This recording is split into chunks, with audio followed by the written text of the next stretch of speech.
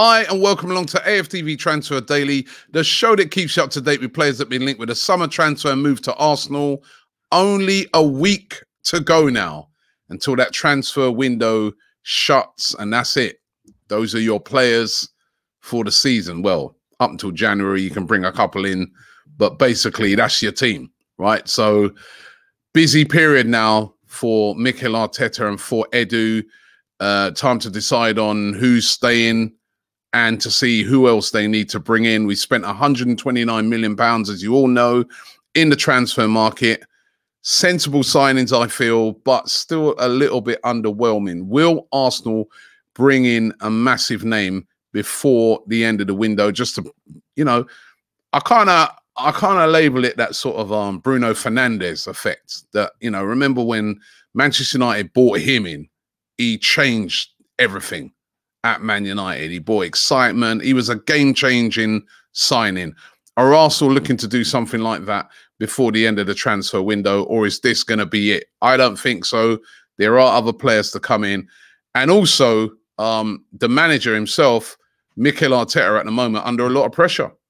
You know, as you all know, you know, we've lost our first two games.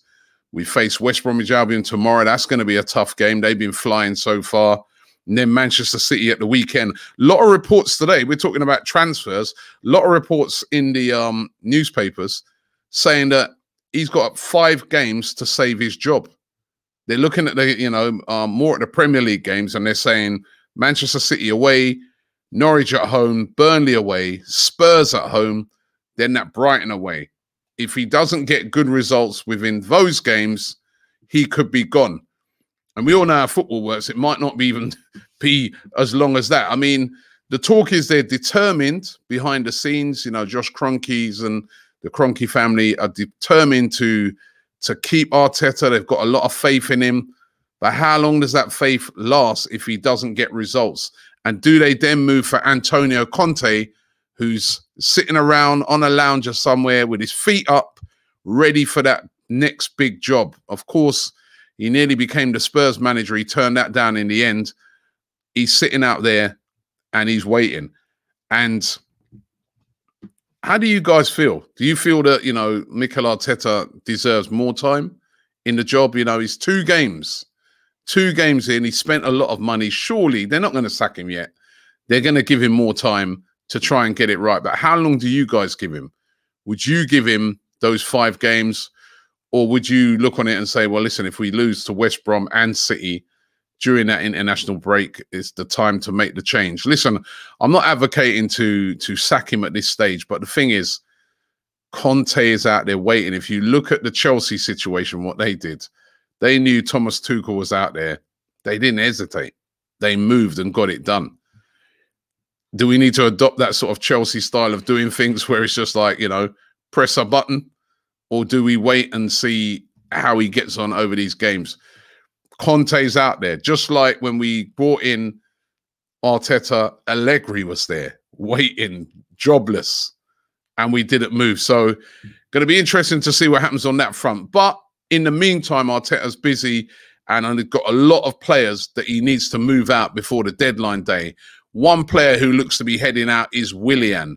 We spoke about it, how he was liking posts featuring Chelsea players, you know, after the defeat. That didn't go down well. He's been out of the team with COVID. Um, but it looks like he may not be coming back to the team because he's in talks at the moment with Corinthians um, over there in Brazil about a return to his home country on a free transfer. Um, so there'd be no fee involved. Remember, we got him on a free transfer. There'd be no fee involved, and he just uh, go straight over to Corinthians. What sort of deal they do, Arsenal, regarding his wages? Will there be some sort of little bit of payoff to him? I don't know. I'll tell you what, that transfer of Willian to Arsenal should be investigated, in my opinion. Three year deal on over a hundred thousand pounds a week when we had loads of players who can play out wide. It was just ridiculous. And that was a Mikel Arteta signing.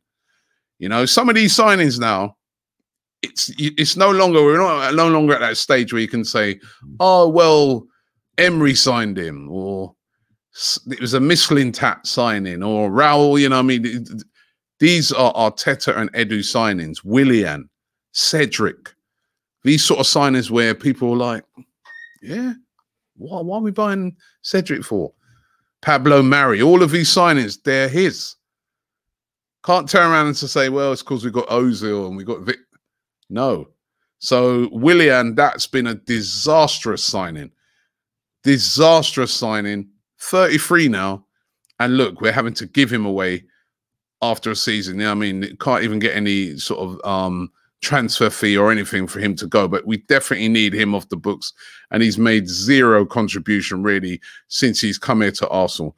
Another player who's looks set for the exit is Eddie Nketiah, um, but they're having problems trying to sort out a fee for him. Now, Crystal Palace want to buy Eddie Nketiah, who's, remember, has got a great goal scoring record when it comes to the England under 21s and, you know, in the under 23s very enthusiastic player, but it's just not, you know, he's just not got the goals for Arsenal. He's been given quite a lot of opportunities, but it's just not got the goals for Arsenal. I can see him actually going to a Crystal Palace and doing really, really well because he's a talented young player. And you can see he's hungry and he wants to score goals, but it just hasn't happened for him at Arsenal. Now, Crystal Palace is said to be willing to pay um, a fee of around about 10 million pounds for him but Arsenal are looking for 20 million.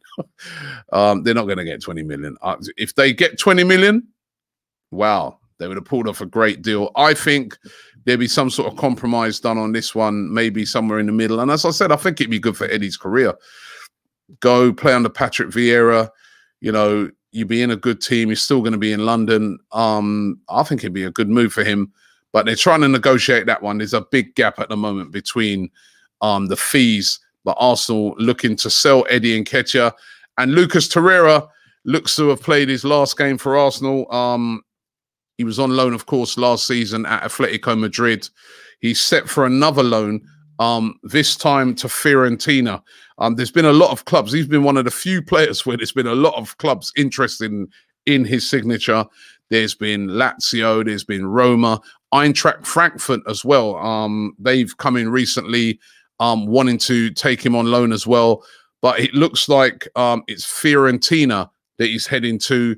Um, an initial loan, a season long loan with a loan fee um, being paid, and then an option to buy um, for Fiorentina of around about 12.8 million pounds. Remember, we paid about 27 million pounds. Again, it's going to be a big loss. He's hardly played. He's been out on loan time after time. It's just not worked out. But Lucas Torreira set to leave Arsenal um, for pastures new, and uh, yeah, um, you know, it's a it's a shame with Lucas Torreira because I've always looked on it and thought, I'm sure, I'm sure we could have got more out of him. I'm just, you know, sure we could have got more out of this player, but it's just not, it's just not happened. It's just not happened, and you know, Emery didn't get the best out of him, and nor is Arteta, and uh, looks to be heading out. So good luck to Lucas Torreira wherever he ends up. Um, Arsenal still interested in Kieran Trippier. Now we know that Arsenal are desperate for a right back, even though we've got Bellerin, we've got Ainsley Maitland-Niles, Chambers, Cedric, effectively like four people who can play in that position. As um they used to have a saying in Jamaica. My dad used to say, like, you know, four can't make one or two can't make one. That's what, you know, nobody's really grabbed that position. Um, and Kieran Trippier is seen by Mikel Arteta as the ideal um, player to play in that position. Again, the problem is the valuation. Um, Atletico Madrid want around about 34 million pounds for Kieran Trippier. Now in his 30s, no chance Arsenal going to, well, I don't know, I hope not Arsenal are going to pay that. But Arsenal said to have reignited their interest in Kieran Trippier and will be talking to Atletico Madrid, hoping that maybe that fee can come down before transfer deadline day. We need a right back. A right back is needed, a specialist right back. And I'm not talking Cedric, I'm on about someone a grade up. Um, so Let's see how that works out. Or were they move moving for another right back before the end of the transfer window? And of course, yesterday there was rumours about Aubameyang as well. you know, that Arsenal would listen to offers. I mean, some of these stories actually, when they come in, when you read them, Arsenal would listen to offers for Pierre Emerick Aubameyang if those came in. That's probably quite obvious because you know he's getting older and he's not had a great season. But I don't think Pierre Emerick Aubameyang is going anywhere. And when you've seen, you know, the fact that we can't hit a barn door at the moment, you know, getting rid of strikers without replacing them would be absolutely ridiculous. So I don't really see much in that rumour at all. I think Aubameyang, we have to wait and see what he does this season. He, he's, you know, he's had malaria, he's had COVID now, he's had lots of issues behind the scenes. Let's hope he can get it together for this season because we need those goals.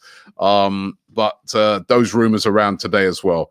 Listen, thanks for watching the show today. As I said, one week to go on transfer deadline day. We'll be doing a special here on AFTV, keeping you up to date with everything and anything that happens, all the exits, all the incomings. We'll be all over it um, here on AFTV. Don't forget to check out our AFTV News Daily tonight. I think it's Turkish and Dan Potts on.